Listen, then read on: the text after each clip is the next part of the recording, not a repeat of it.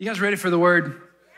When I am, I, t- I was sitting in, at home this morning and uh, I was just reading through, still reading through the Gospels, and uh, and I just got excited all over again about about the life of Jesus.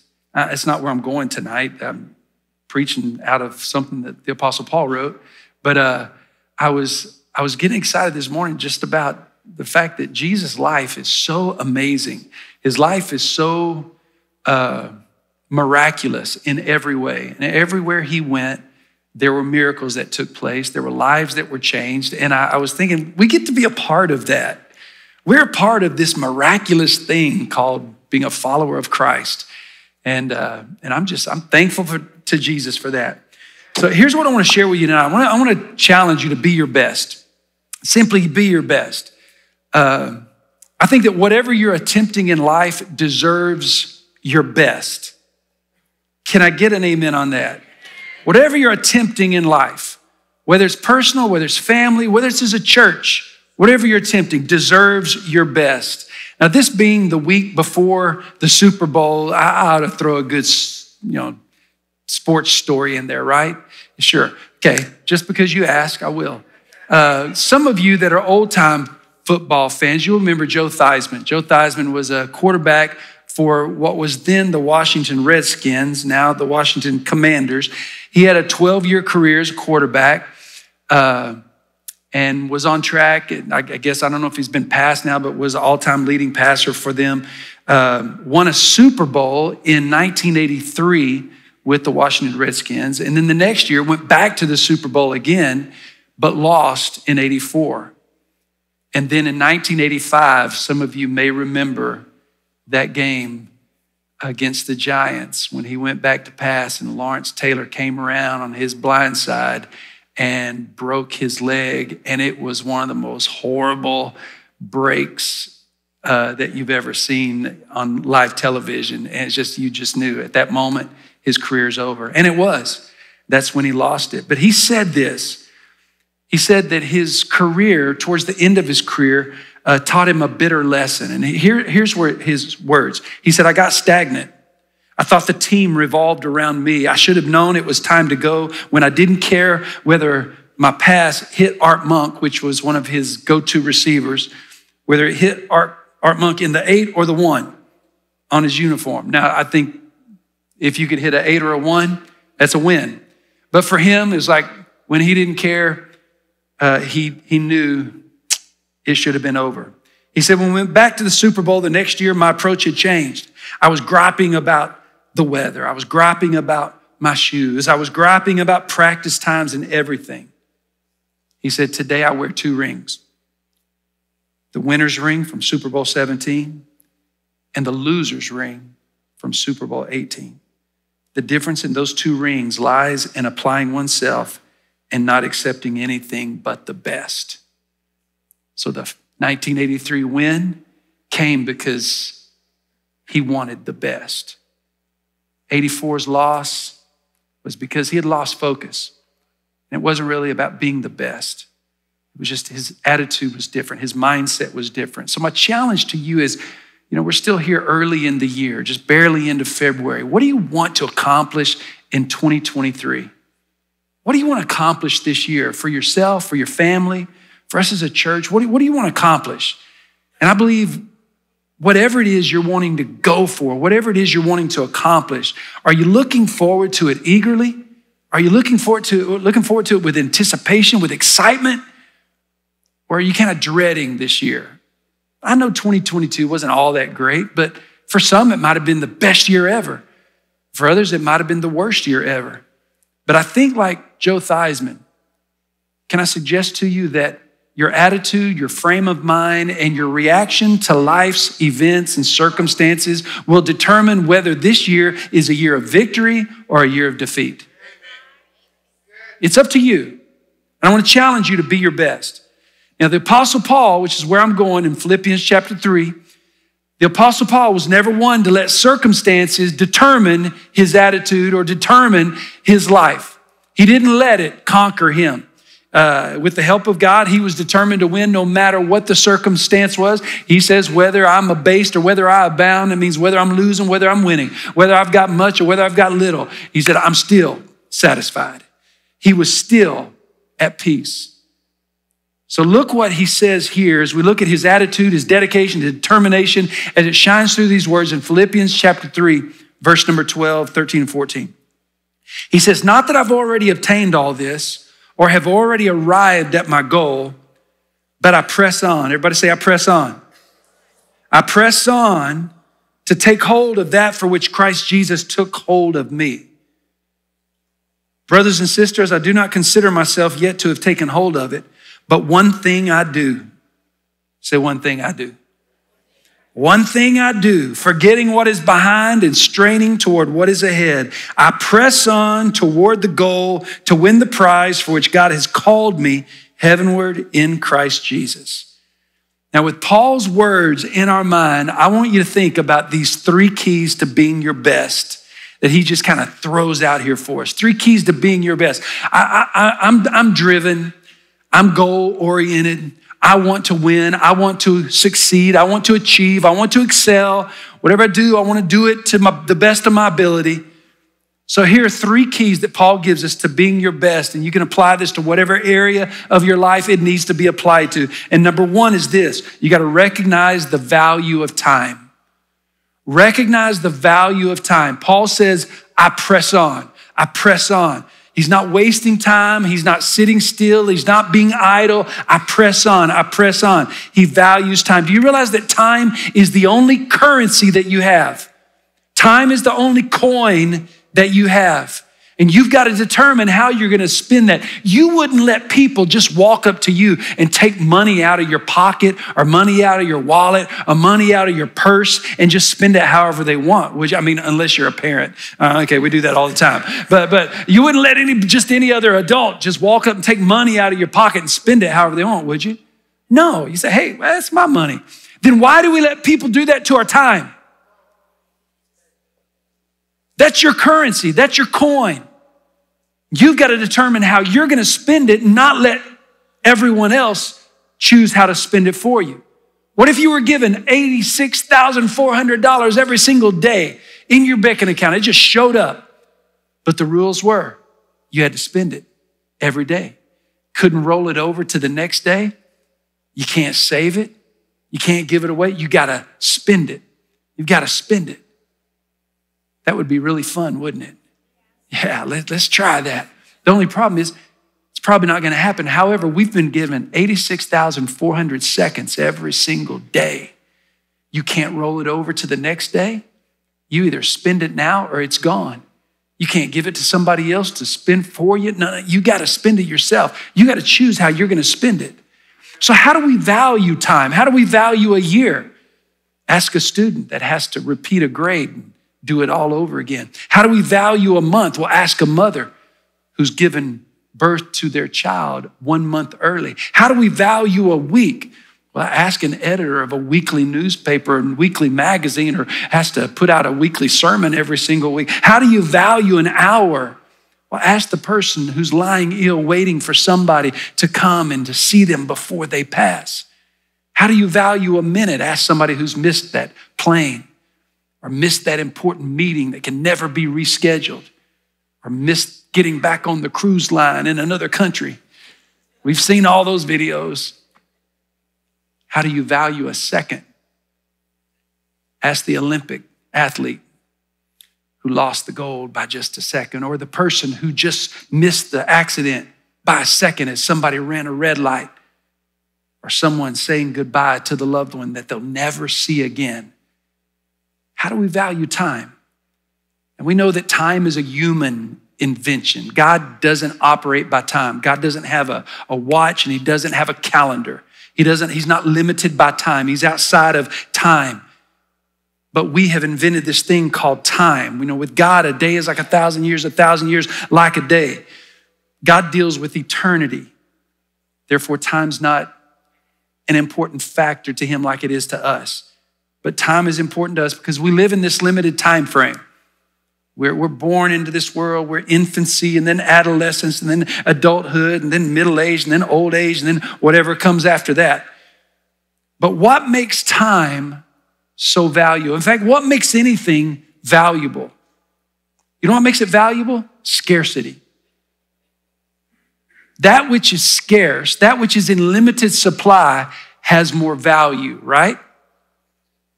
If it's rare, one of a kind, just a few of its kind, it has more value. And that might explain the whole generation gap. Because when you're young, you feel like you have all the time in the world.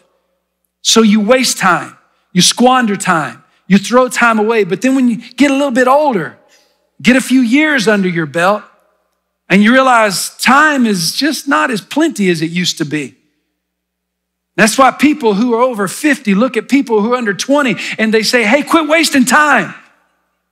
And those under 20 say, I got all the time in the world. Now, no, you don't. Because time seems to, you get a different perspective on time the older that you get. Now, the Bible often speaks of the brevity of life. It compares our life to shadows of the summer that just kind of come and go and fade away and disappear, the grass that grows up and then uh, dies and then is burned away. Time, time.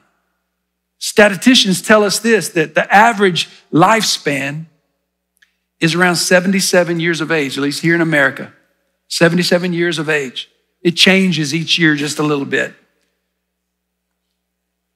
Guys, here's what makes the average. You and I are like at 74, and the women are like at 80. That puts the average at 77. Sorry, we're going before the ladies go. But I came across some interesting statistics. I've shown these to you before, at least some like this. But if we live to be 75, let's just say 75, most of us will have spent at least one year sick or recovering from sickness. We will have spent three years in school acquiring an education, elementary, high school, college. We will have spent three years reading books, magazines, the Bible, articles. We will have spent five years riding in a car in a plane. Five years talking to each other. Some more, some less. Seven years eating. Some more, some less. 12 years in recreation, watching TV, going to movies, going fishing. 12 years. 14 years working. And we say, like Solomon, meaningless, meaning. and 24 years of life sleeping. Man, you look at anything, we are all complete, we're just messed up. But do you realize that if you came to church one time a week, one time a week, without fail, in that 75 years, it would be like five and a half months.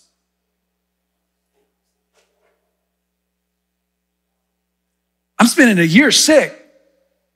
And going to church once a week doesn't even get me close to just one year of sickness, or obviously not three years in school or three years reading. If you came twice a week because you come on Wednesday night too, only 11 months. And that's if you didn't ever miss in 75 years. We don't even make it on this statistics board. Which all of that says to me, it just says that Life is short. There's a brevity about our life that we have to recognize, but it also says something about our priorities. And the Bible tells us that life is uncertain that time is like this valuable commodity and it's, it's very precious and it, it, it lives in this delicate vessel that could be broken at any moment, that could be gone at any moment. We might lose it at any moment. So we've got to make the most of every moment. That's why the Bible says now is the accepted time. Now is the day of salvation. The writer in Hebrews said, when you hear the, the, the name of the Lord, don't harden your hearts because life is uncertain and we've got to take advantage of the time. Recognize the value of time. It's the first key to being your best. The second is this don't be in bondage to the past. Don't be in bondage to the past. Paul says in verse 13, forgetting what is behind, straining toward what is ahead. Now, listen, we are very special beings in the sight of God, completely different than the animal creatures. We're just different. God's given us this ability to remember that, not that animals can't remember, but not quite like adults. I can pop my dog, he still comes back and acts like I'm his best friend. I can tell him, You're annoying me right now. And he thinks it's just a game.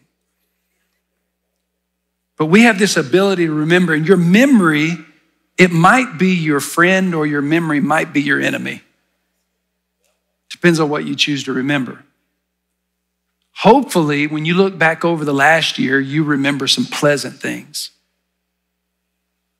But the truth is, you probably remember some things that weren't so great. When you look back over your life, you probably remember some things that weren't so great. That's the natural tendency of most of us. We tend to remember the things that aren't so great. We remember those few comments that just were a little negative, even though there were a ton of positive comments. And sometimes we dwell on those negative things. We begin to feel sorry for ourselves. And maybe even in this past year, maybe it was so difficult for you. Maybe there was job change, family loss. Maybe there are physical challenges and physical sickness. Maybe, maybe you, you had problems that you've never had before. Maybe it was a time when sin got a hold of you and you had a struggle this last year like you've never had before. There are things that can cripple us in our life. There are things that can hold us back, things that can get a hold of us and, and, and cause a disruption in our life and make a season of our life not the greatest. But that's why the Apostle Paul says you got to forget what's behind and strain toward what's ahead. Every single one of us have things in the past, baggage in the past, skeletons in the closet that we don't need to go back and revisit. Paul said, You want to be your best? Then forget what's behind and keep moving toward what's ahead. Think about the things that Paul had to overcome himself. Paul persecuted the church with his approval, with his authority. He allowed Christians to be killed by his own admission. He said, I'm the chief among sinners. He could have walked around his whole life feeling sorry for himself. He could have allowed guilt to cripple him. And just think what we would have lost in the body of Christ if the Apostle Paul hadn't listened to his own words and chosen to forget the past and strain toward what's ahead. What was Paul saying? Paul was saying, you know what? I'm going to leave the mistakes in the past. I'm going to leave the pain of the past. I'm going to leave the things I don't even have answers for. I'm going to leave it in the past and I'm going to strain toward what's ahead. There was a couple that was married for 15 years. And for some reason, at this season of their marriage, they just hit a rough spot and seemed like they were arguing, complaining more than normal. They were advised to do this, to create what they called a fault box, F A U L T, a fault box. And they were instructed that throughout the month, they were to write down on a slip of paper the things that irritated them and annoyed them about their spouse, and they were going to put it in the box whenever they were reminded of it, whenever something happened, they were going to write it down, put it in the fault box, and at the end of the month, they were going to sit down, pull out the slips of paper, and address the issues that were annoying to the other spouse. So the wife started writing hers down and you know, left the top off the toothpaste cap, left the top off the jar of jelly, left the clothes out of the dirty clothes hamper. And every day the husband was writing his down on the slip of paper and putting it in. And they each watched the other one and they would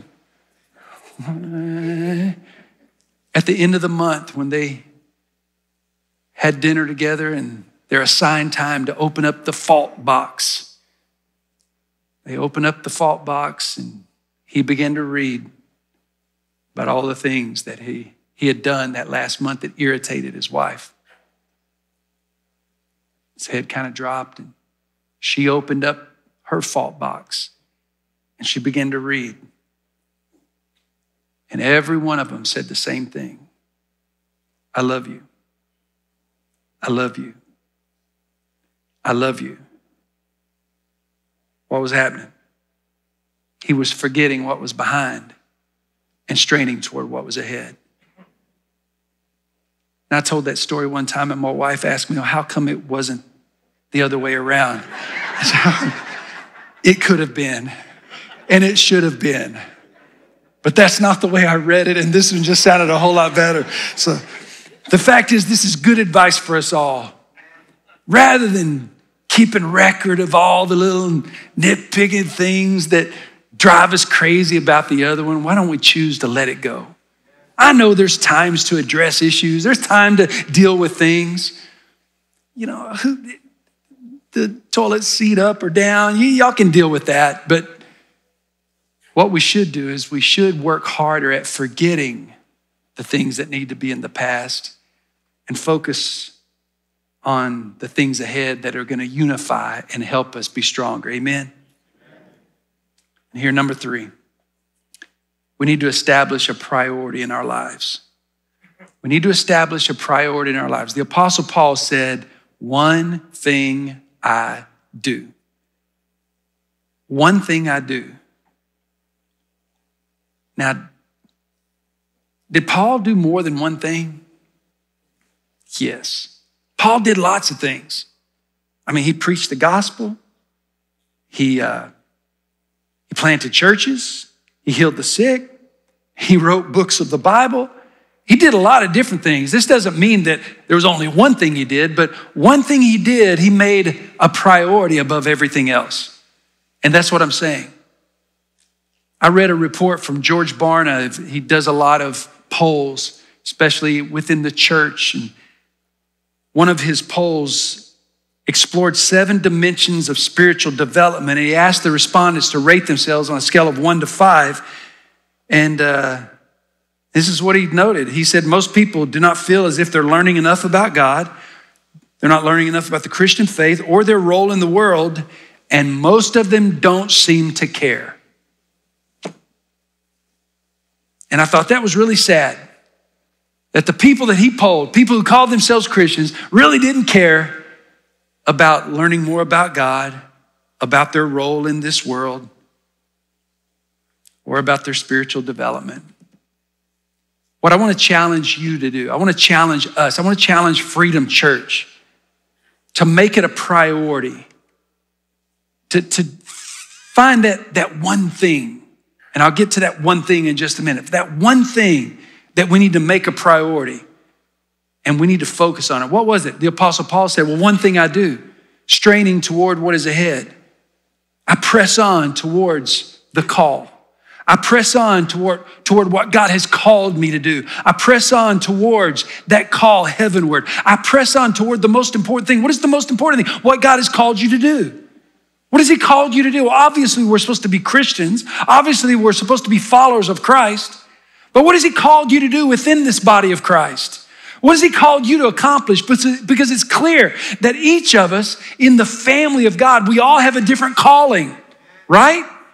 I mean, some of our callings may be similar, and if the musicians would come back, they, they will all work towards the same goal, but we all have a unique call to make this body work, to make the church strong, to make the family complete. So, what is it you're called to do?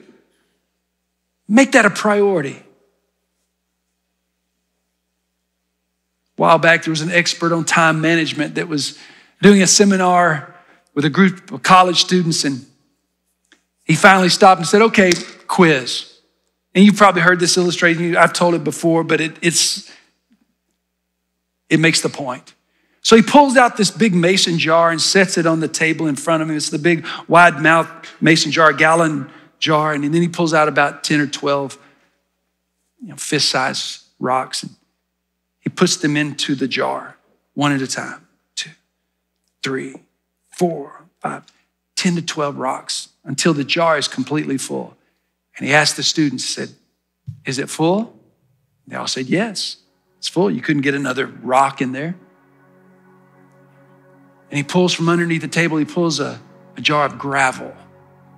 He begins to pour the gravel, and it begins to sift down through the rocks and fills up he says, Now, is it full? They were kind of on to him then. Well, probably not. He says, You're right. And he pulls out a jar of sand. And he pours the sand, and the sand then begins to sift down in through the gravel and the big rocks and fills up the jar. And he says, Is it full now? Can't be. Of course not. You're right. He pulls out a jar of water. He begins to pour the water in until he fills it up to the top. And then he asks the students, Can you tell me what the point of this exercise is? And one says, Yeah, yeah, one eager beaver. I, yeah, I got it. The point is that no matter how full your schedule is, you can always fit one more thing in. He said, No, that's not the point. The point is that if you don't put the big rocks in first, you'll never get them in. If you were to pour the water in and the sand or the gravel, the big rocks never would have made it in there. And this is what we have to understand. What, what are the big rocks that are in our life? What are the foundational blocks that are in our life? Pursuing God and His call in our life, pursuing a personal relationship with Him, pursuing holiness and righteousness, knowing this Word of God, knowing what God says, being committed to doing what God says. And God's calling upon us. I feel Him calling upon us to make pursuing Him a priority in our life. What is it that He's put us here on this earth to accomplish? What has He put us in this body of Christ to accomplish? Let's make that our priority. Oh, let's have fun. Let's enjoy life. Let's have activities together. Let's have fellowship together. Let's eat together. Let's play together. But what's the most important thing? What does God call us to do? And I'm gonna tell you, here in two weeks, when we have our Vision Sunday, our Kingdom Builder Sunday, we're gonna be challenged about what we can do for the kingdom of God. Because our whole life is spent with what's in it for me? God, what can you do for me? God, I'm coming to church today, and what do you have for me? And in a couple of weeks, we're gonna be challenged about what we can do for others. What can we do for this world? What can we do for the broken? What can we do for the hurting? What can we do for the lost? What can we do for those that have never heard about Jesus? What can we do for those that are disenfranchised or separated or have been hurt by the church and will never walk back in the doors of the church again? What can we do to reach one more person for Jesus? The most important things. Because the most important thing is for one more person to know Jesus Christ as Lord and Savior. That's the most important thing. There was an old beggar woman that was living in a little shack of a home. She had run out of money. She had no money for her rent. She had no money for her bills. She had no money for anything, for food. The landlord had already come and told her if she didn't pay up, he was going to throw her out. She lived in fear, waiting for him to come and throw her out. And it happened to be Christmas Day, and she's inside her little humble home, and she only has a candle lit to warm her hands. And she's warming her hands around that candle when she hears a knock at the door. She blows out the candle and hides in silence, knowing that the landlord had come to throw her out of her house on Christmas Day. She sat quietly until he walked away. She did not leave her home for the next two weeks. When she finally left and walked outside, she found a note that was left two weeks before. And it was from a friend who had come by with enough money to pay for her rent and to pay for her bills. I wonder how many times God has knocked on the door of our heart, trying to get to us, to provide what we need, to do what He's called us to do. And we've hid in the darkness out of fear. We've hidden the darkness out of shame. We've hidden in the darkness for whatever reason. We haven't put the past in the past. We haven't committed to the one thing that we're really called to do.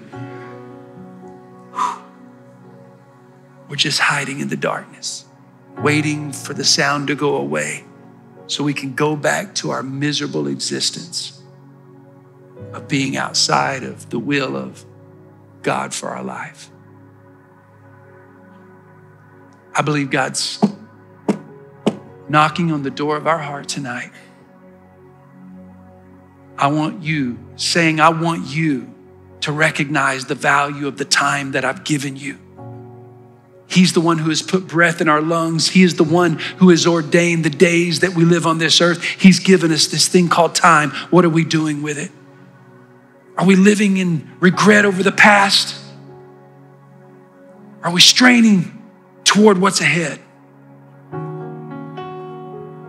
Have we made our mind up the one thing that He's placed us here to do, we're going to make that our priority tonight? We're going to make that our priority this year.